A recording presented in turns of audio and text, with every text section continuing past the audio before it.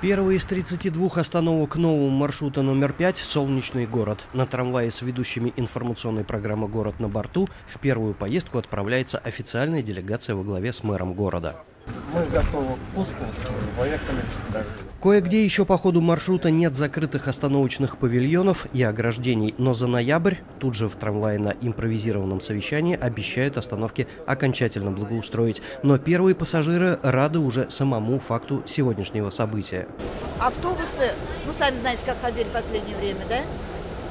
И попасть вот на, э, на ЖД вокзал, например, проблема была. Я на работу езжу, мне очень удобно. Наверное, так же и другим. Вообще, трамвай, конечно, ждали. Очень ждали.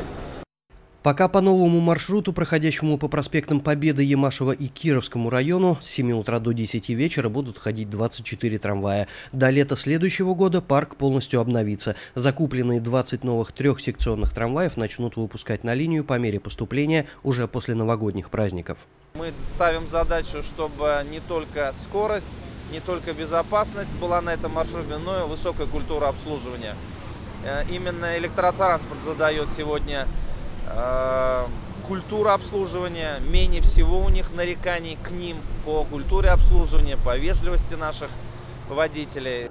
Комфортабельные трамваи будут способны развивать скорость до 100 км в час при минимальном уровне шума. Интервал днем составит 6 минут, вечером максимум 11. Общее время в пути от солнечного города до вокзала 58 минут. Единственное направление остается вот перекрестки, пересечения.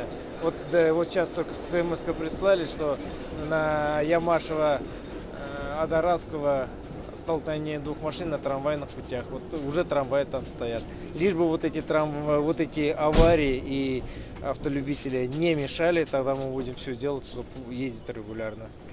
Что особо отмечают первые пассажиры, практически весь путь трамвай проходит параллельно дороге, но по выделенной полосе, что позволяет избежать всех пробок. Время 8.50 утра. Традиционная утренняя пробка на южной трассе на участке пересечения Мамадышского тракта. Иногда она тянется до третьей транспортной дамбы.